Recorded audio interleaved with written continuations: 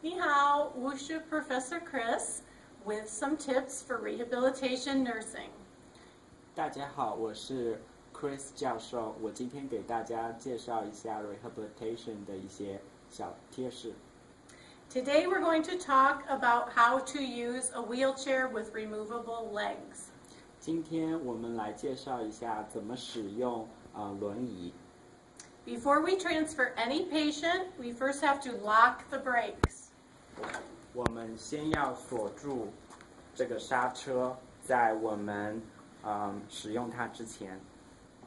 And when we transfer a patient, we want to make sure we remove the legs from the wheelchair so they don't get in the way. 在我们使用这个轮椅的时候，我们需要先把这个脚躺平。 Most chairs with removable legs have a lever under the seat that you have to push, and you bring the leg to the side. 我们可以旋转这个脚到旁边。 You aren't able to remove the leg unless you've removed it to the side and then lift up and take it off.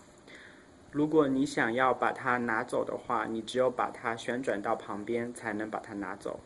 That's our tip for the day. 这就是我们今天的小贴士。 Bye bye. 再见。